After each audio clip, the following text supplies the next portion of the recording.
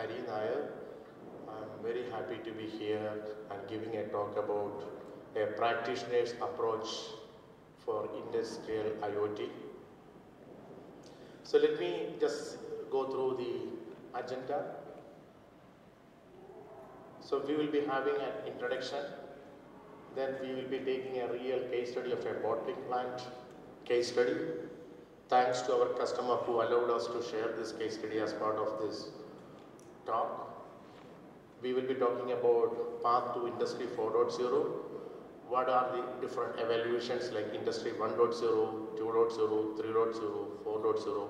What are the differences? You know, we are all talking about so many different terms. So what are the differences? Then we will also talking about what are the next step towards industry 4.0. So let me start with a brief introduction about me. I am Hari Nair and I have started my career with career as an electronic warfare scientist at Defense R&D organization in Hyderabad. We were making the electronic warfare and the threat library and those kind of things long time back and be part of the deployment team in the POK border and those kind of places. Of course, that is history. Long time back, I left that place and I started into working into different industries in India and USA. And I have overall 25 years of experience in the, the various uh, techno managerial role. And eight years back, when we started a company called Gadgeon, we focused on end-to-end IoT. What is meaning of end-to-end IoT? It is from the sensors to the hardware, to the connectivity, to the gateway, to the cloud, to the analytics, to the applications. Whatever Rahul Gupta was talking about, sense, make sense and act. So we work on end-to-end IoT because I know some of the questions were coming, who will provide the sensors? We will provide the sensors. Who will provide the connectivity? We will provide the connectivity. Who will provide the gateway? We may take a third-party gateway from Dell or from somebody else and configure and set it up for you. So we provide an end-to-end -end solutions. Because I know that when we talk about this kind of implementations, one of the biggest challenge we will be facing is that if you go to a, an existing factory today, some of the machines may be brand new machines, which they talk all the latest technology. But some of the machines may be 20 years old or 30 years old machines. What are you going to do with those machines? Are you going to throw away those machines? Give me a break. We are not going to do that. We want to use that machine. How can you use that machines? Definitely I will be delving into more details about this one. And when we started working on this IoT and IoT platforms and IoT solutions, we come across a lot of different intricacies. I will be definitely getting into some of that. This is a case study which I am going to talk about. This is a, a, a, a factory where we are planning to implement a remote production monitoring facility.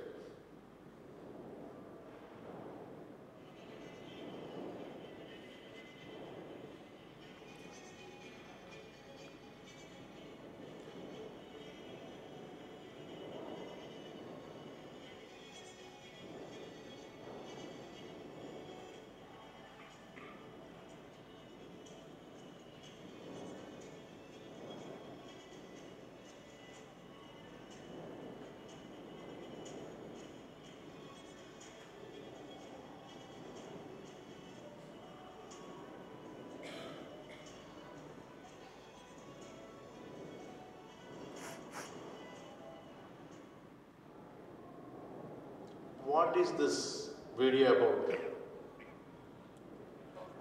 Definitely it's a bottling plant. It's wine bottling plant. What more we know about it? It's a highly mechanized automated plant, very less labor, well maintained and well clean, clean room kind of facility.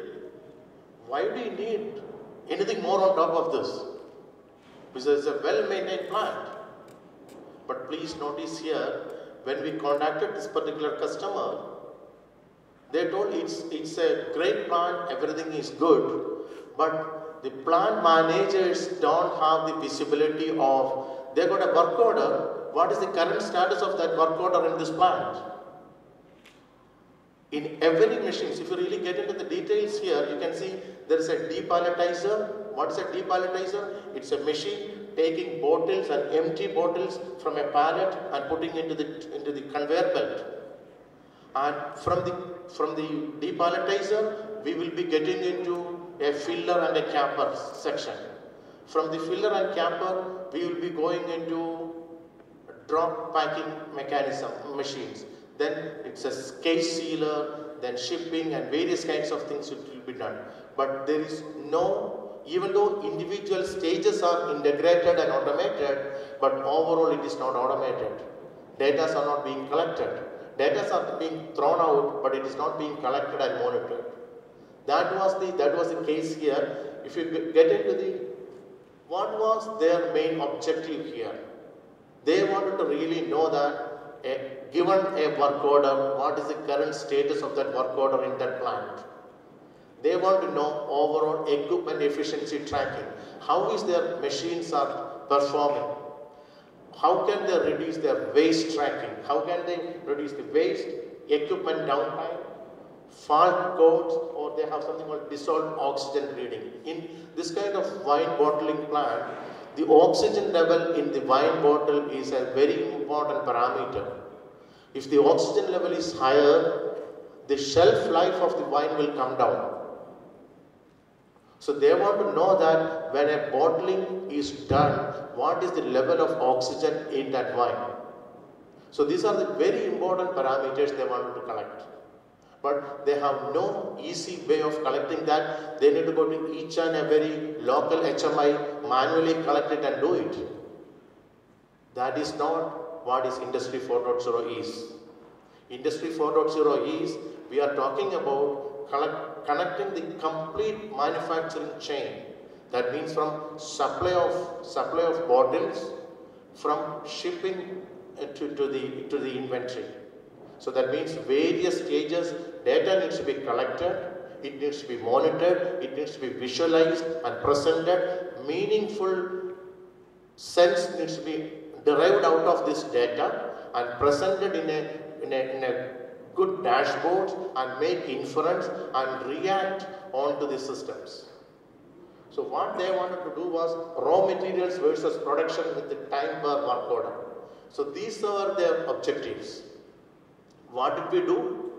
Typically what we do is that first we will visit that factory floor and analyze what is their data requirement. What are the different stages of their production facility. In this case you can see depalletizer, filler, labeler, drop packer, case sealer and palletizer. Now what are the different kind of parameters they wanted to monitor? bottle counters outgoing from depalletizer, how many bottles are going out of depalletizer, how many are filled and capped and moving out of the filler, how many bottles are entering and exiting the labeler, how many number of are getting into the drop packing mechanisms, and how many cases are sealed, number of pallets are being moved out of the palletizer. So these are the kind of, now if you take the case here, what are the equipments they are using? They are using MHE DeepAL as a, de depalletizer, filler monoblock for the filler. They have different machines. Now, how do we collect the data from here? Trust me, collecting the data is the more biggest challenges of Industry 4.0. There are platforms. There are people talks about computing, people talks about different platforms, analysis, everything. But how do you collect the data? That is the biggest thing here. Once you have the data collected, then of course there are so many people are providing platforms to store the data, analyze the data, make sense out of the data. But data collection is one of the biggest challenge. Data collection is multiplied. The challenge of the data collection is multiplied once you have a heterogeneous uh. That means some machines are new, some machines talks one protocol, other machines talk another protocol, some machines are old how do you collect data from all these kind of heterogeneous machines and make sense out of that? Then of course, now when you are getting into this kind of IIoT, there is something called IT and OT. And IT guys should support OT guys. IT guys should not take it as a threat for their job. So now the collaboration and cooperation among various teams is an absolute requirement here actually. Now what is the next step here? The next step is going to be, we are going to visualize. That means we are going to create a digital twin. What is a digital twin? If you have a factory floor, it is having these various stages. Here we are going to make a 2D or a 3D layout of that production line and we are going to use drag and map kind of mechanism for data collection. Once you do that, you will be able to exactly view your production line. Then once you define the correct data collection points or the sensor points, then you can assign what kind of events, what kind of derived events, what is red means, what is yellow means, what is green means, all those definitions can be done. So that is what we typically do in this kind of virtualization. And one of, everybody talks about, you know, big data analysis. One of the biggest problem of big data analysis is data itself. Where is the data? Now if you go to a factory today, some of the data may be in some files in some computer or some, some registers or some books or some manual way of doing it. Where is the data? You need to collect the data first or transform the data from the existing system actually. Once this is done, the, the, the biggest, the next step is a simulation. Why the simulation is so important? We don't want anyone to invest any money before they are convinced that it is solving their pain or problem.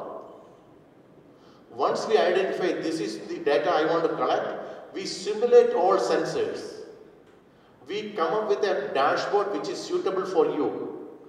We demonstrate that proof of concept using a simulator and show the value which is bringing in.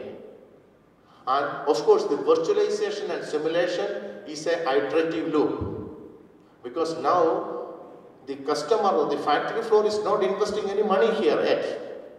We are doing virtualization, simulation and fine tuning what kind of systems you want to develop. Once that is done, now the next biggest thing is that who will provide the sensors? That, that is one of the biggest problem. Now, in some cases, some of the equipment has the capability to push out the data various sensors inside the machine because if the machines are new, maybe five years old kind of machines, they have Modbus, OPC UA, BACnet and those kind of interfaces. Using that they can push the data out. But if the machines are old, we will, during the analysis phase, we will identify what are the different kind of sensors you need. Is it an internal sensor, external sensor? How do you collect the data from those machines?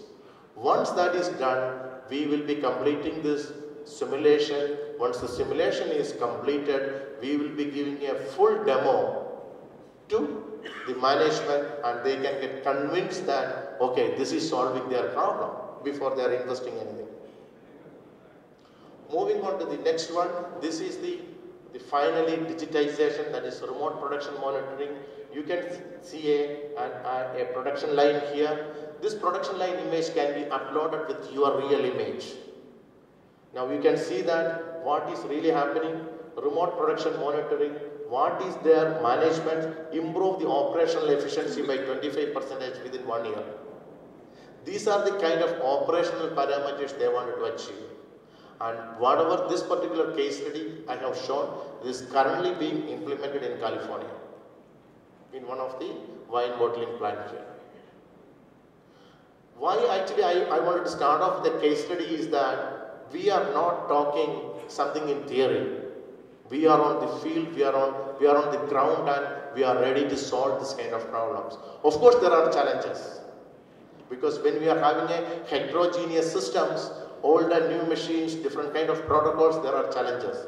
But we will work with you to really face the challenges and solve the challenges and collect the data. Once the data is collected, we will be able to do make sense out of that data and react on that data. So now let me, let me just get back to what are the some of the theory behind all this Industry 4.0. In the Industry 4.0, we will be coming up with a, a, a, a analysis. It's called our approach cycle. We will analyze, we will virtualize, we will simulate, and we will digitize. Then only we can start the journey of Industry 4.0. We cannot say that, okay, it is like mobile revolution. Mobile penetration is very high in India. Without landline, of course, we were having landline in a very limited scale. Without having a full-fledged land, landline, we went to mobile. But that kind of penetration may not be so easy in Industry 4.0. You need to have a mechanism for collecting the data or digitization. As part of the digitization, the first thing is analysis. Analyze what is your data requirements. What are you trying to achieve through this data collection? Then virtualize, simulate, then digitize. Then we will be talking about various aspects of data analysis, anomaly detection, AI, deep learning, machine learning, all kinds of things. From that, we make sense out of the data, then we act on the data, or we will put back, we will complete that loop by giving the appropriate command backs to the sensors and machines. Let us start off with Industry 1.0, Industry 2.0, Industry 3.0 and 4.0. We know that you know, sometimes we say that the initial industrial revolution never hit India, okay, because we are even now a lot of labor intensive workforces doing in many factories. But when we talk about at a global level, you know, this all started very long time back, 18th century. The first industrial revolution started with the steam engine and water-based, you know, steam engine-based uh, mechanized production. The second revolution started maybe 100 years later. It is more of mechanized, more of repetitive kind of production where the same assembly line can produce mass production. And the third revolution happened maybe around 1960, 1970 time frame where this computers has become more affordable and more cheaper. It got introduced into the production lines and assembly lines and now we call it Industry 4.0. What is the fundamental difference between 3.0 and 4.0? In 3.0, definitely whatever the plant which I have shown is at level 3.0. So that means it is fully mechanized, fully automated and fully computer controlled. But it is in silos, it is in different different areas. One stage is totally integrated, totally automated but it is not integrated with the other stage. Their integration today is with a conveyor belt. That is a physical conveyor belt, okay? Now, what we are talking about is physical cyber system.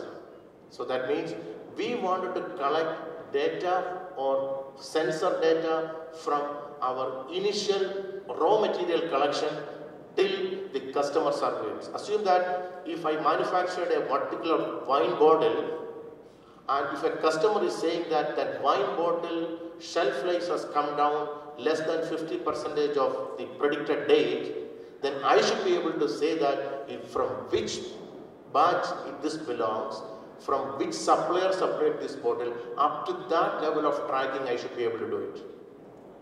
That is the beauty of Industry 4.0. So that means it is not just the assembly line alone, it is from the raw material collection or ordering system till the customer support. It is everything, everything in the complete manufacturing chain is integrated and it is completely traceable. So that is the good. What are the technologies here? Definitely all these computers, all sensors, IoT, AI, robotics, everything is playing a major role here. As we know that you collect a lot of data, without AI or without analytics or without machine learning or deep learning, can we make sense and easy sense? No. We definitely need those kind of analytics. On top of analytics, we need good visuals. You should be able to visualize the data in a meaningful way. It should create good dashboards and present the data and give the alert mechanism for the right people with either with SMS or with different kind of mechanisms.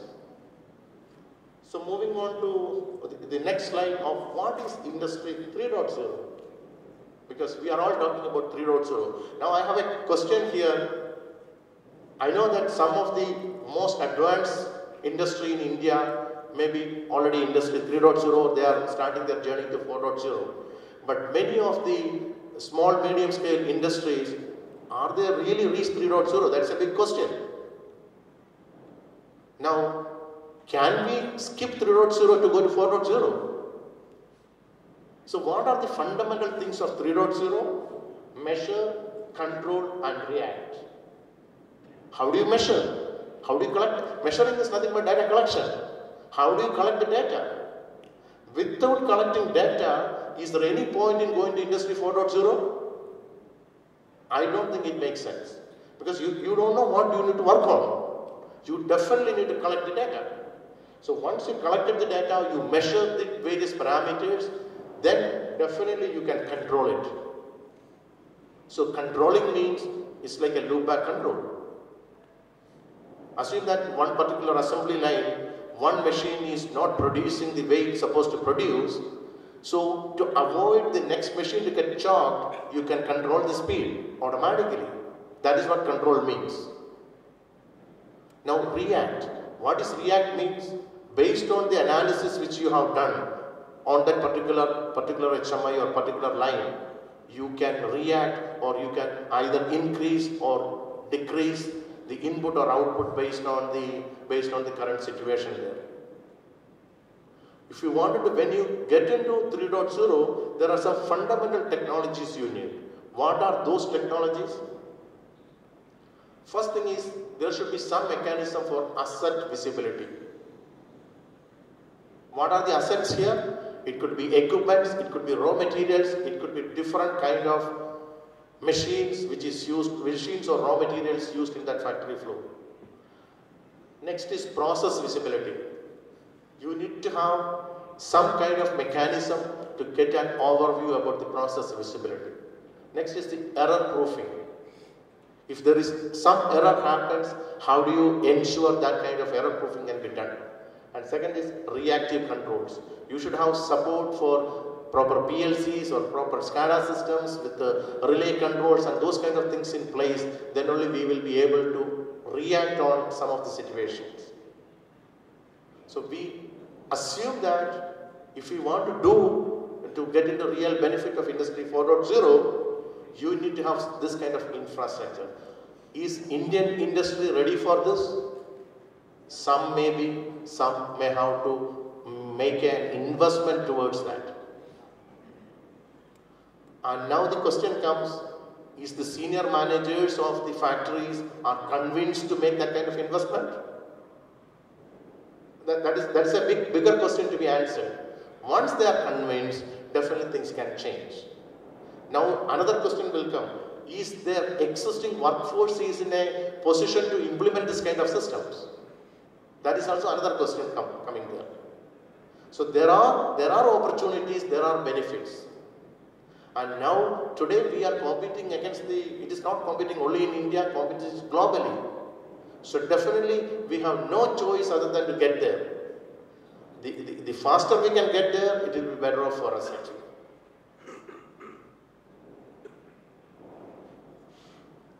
Now we can see here, as we are talking about way to industry 4.0 is start small. You start with one production line. Let us not go with full factory. Let us start with one production line, maybe one particular stage of that production line. Saying that, how can I start with a small?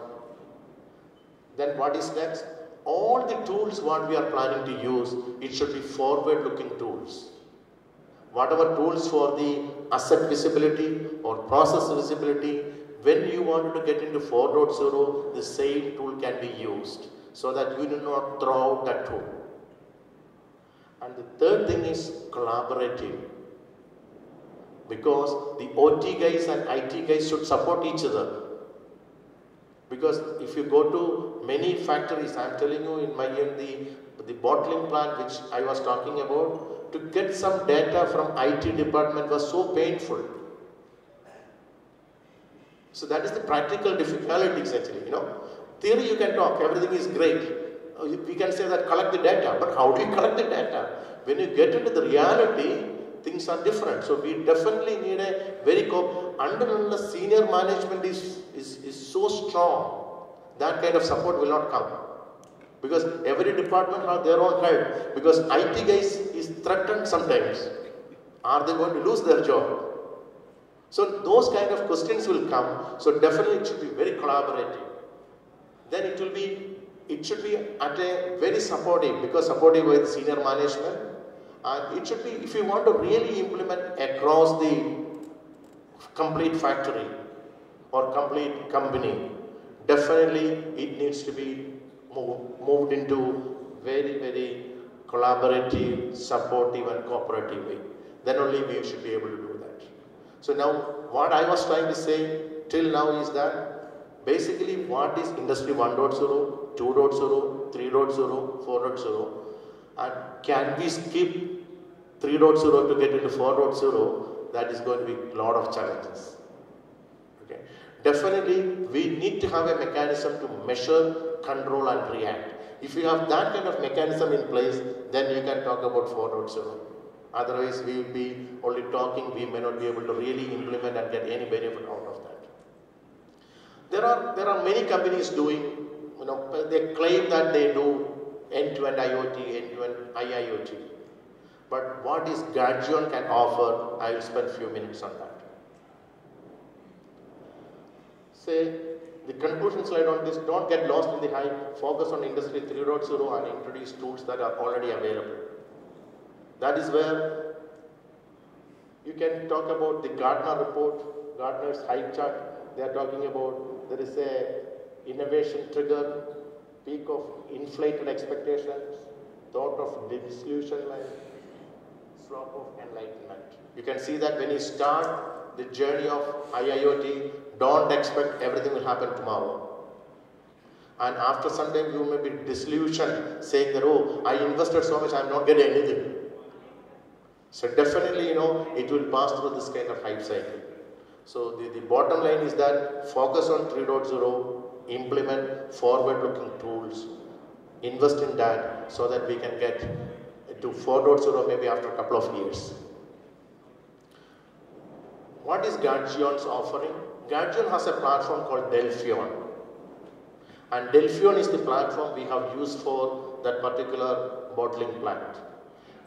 This platform is built on top of AWS and Azure kind of cloud platforms.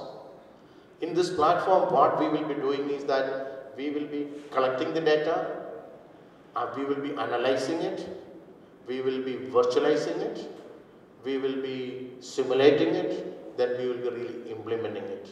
As part of that one, you can see it's a rapid IIoT platform development where it can be used to remote production monitoring, improved quality, reduced machine downtime and increased throughput. You can see what are the machines it will get connected, what are the applications it can. It can also get connected with, integrated with the CR, CRM systems and ERP systems and those kind of traditionally available systems in the factories. Then Edge is a Edge gateway. And that gateway is a, a gateway, it could be from Dell EMC or it could be from any other third party gateway. But where we will be running a software which is specifically meant for this kind of applications. Dell Cloud, suppose if some factory has their own cloud, we can put it there. It could be Amazon Cloud or it could be Microsoft Cloud or IBM Cloud, wherever it is. We can, we can put it there. So in this particular kind of DelphEon, we will be doing the analysis, virtualize, simulate and digitize. This is a this is a demo which we are exhibiting outside this conference room. Here you can see that there is a Dell Edge. Dell Edge is the is the Edge gateway. You can see, you know, PLC, OPC UA. Those, those, some of the PLC may be the traditional PLC which is supporting Modbus TCP. Some of the PLC may be OPC UA. OPC UA is a new protocol which is coming up into the industry. So now that PLC is connected to the different machines in the factory floor. And I assume that majority of the factory floors will have some version of PLCs. If there is no version of PLC, we have another way of collecting called Dell IO module. Dell IO module has 8 analog IO module, IO input inputs, 8 digital IO inputs, then relays. So in that way, wherever the PLCs are supported, we can use the PLC path. Wherever the legacy machines, that's what I was talking about. We care about legacy machines. When you want to connect with the legacy machines, we use this path. Once these two things are covered, we also support a HART protocol. HART protocol is a, a wireless serial based protocol which is wireless HART. Those kind of machines also can be connected using this Dell Edge. Once this is done, you can see there is a local HMI. You know that we cannot run everything from cloud in a factory floor. When technicians are working on the assembly line, they need to have a local HMI to look what is going on there. So we have a local HMI and we also have a cloud version. So cloud version can be used by the managers and the product line managers and the management team but the local HMI will be used by the technicians who is on the floor. The demo of the same thing can be seen there. We have put the real hardware, real sensors so that we can get a feel about how exactly it is being done. You can see here, what are we doing here? Collect production data acquisition from the factory, collect, transform and transmit. This is what exactly DelphEon is doing. So you can see that production data acquisition from the factory pulls data from any machines or PLCs or OPC servers on the factory network. And now, if we, if we are starting engaging, we need to have that analysis phase first. So that we come to your factory floor, understand the plant, understand this kind of things, how do we really collect it? Then automates collection of production data from MES, historians, quality system here. You also will have some data in some form there. It could be some files in some computer or maybe in a different systems. We will also collect data from those kind of sources. Then we will be transforming data conditioning into useful information. That is based on the data analysis part we will be doing. Then we will be transmitting this data in a secure way so that this data can be viewed, visualized by the different dashboards by the senior management. And we can also do this at a different level, at a factory floor level, plant level, corporate level, at multiple levels we can do this.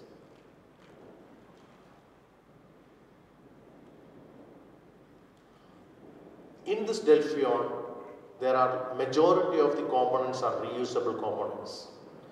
Now, if you really go to this kind of systems, there are many bigger guys like Siemens, ABB and uh, GE and all those people, they have equivalent systems or better systems.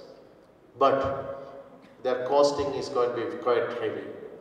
It may be in millions of dollars for one installation. This particular model, majority of the components are reusable components.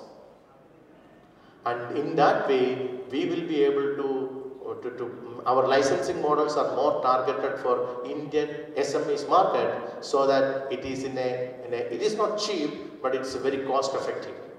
So in that way we will be working, we will be willing to work with the Indian SMEs in that way so that it can be a win-win mode for Gadgeon as well as the small and medium scale industries. And how are we achieving that? It is really achieved by so many reusable components. Only the very minimal customization need to be done based on your dashboard customizations and more of data analytics portion of customization. All other things are reusable.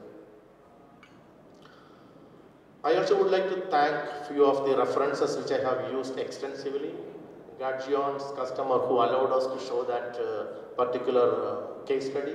Industry 4.0 webinar by Adrian Jenkins. That is one other site. Many sources from internet, you know. It is not I have created everything, I put it in the right way, but some of the sources are from internet. And Gartner Hype Cycle on Technology, as well as uh, AMA KPMG Industry 4.0 report recently released in March 2018. I think I'm running out of my time. Last session is the question and answer. If you have any questions, I can take two or three questions.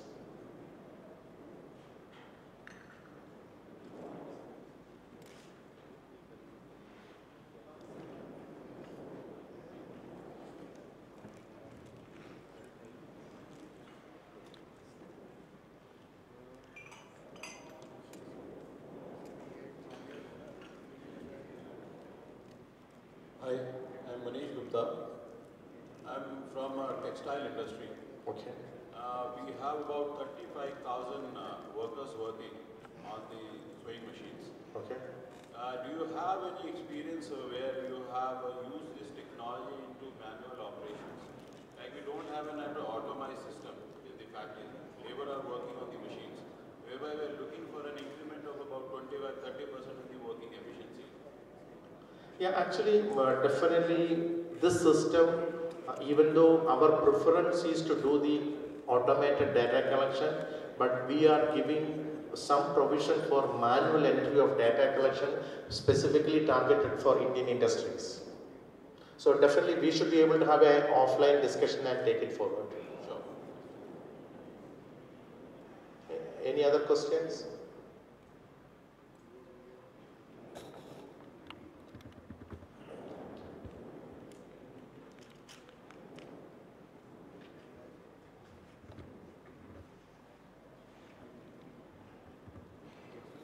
Uh, my name is Jaideep Sharma and I am from the packaging background. We are in the business of uh, producing uh, packaging and printing machines. Uh, you talked about this uh, IoT uh, gateway devices and edge uh, computing devices. Correct. So we are extracting the data from these devices. Is it possible to uh, access the machine from this device? Yeah, actually, uh, definitely we can access it. Uh, that based on which machine. Say, assume that if that machine has some kind of interfaces, typically it has some serial port or Ethernet port where we can access the data using Modbus or BACnet or uh, those kind of protocols. If that kind of data is available, definitely we can easily collect it. If that is not there, can we get some analog line or digital line coming out of that machines? We can collect. If that is not there, we may have to put some kind of external sensors to collect the data. So that will be based on case by case it varies. That is the reason I was spending a lot of time on that analysis phase because everybody's case is different. Your machines are different. We need to interact with you, understand that kind of machines, and definitely we should be able to engage. Yes, presently we are able to extract the data but uh, locally.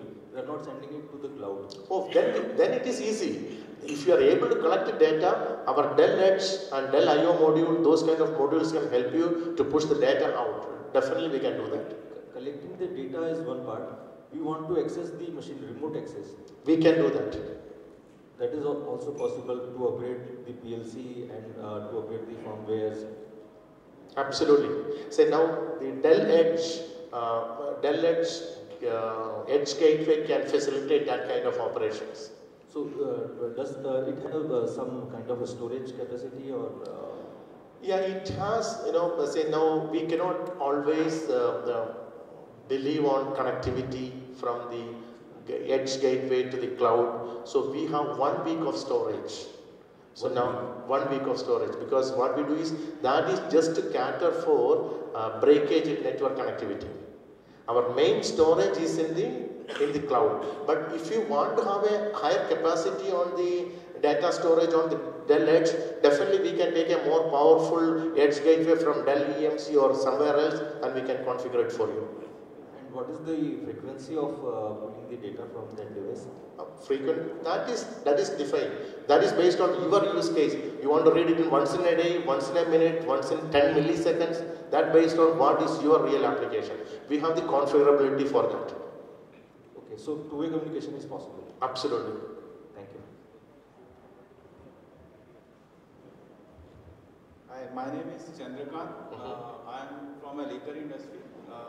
Uh, my question to you is, while you have said that the biggest challenge in Industry 4.0 platform is to collect data, And uh, in case uh, some manual intervention is involved in collection of this data, do you still call it uh, on an industrial 4.0 platform or uh, it is not industry 4.0? Say, you know, let's not talk theory because you know theory, you know, we can say both the answers.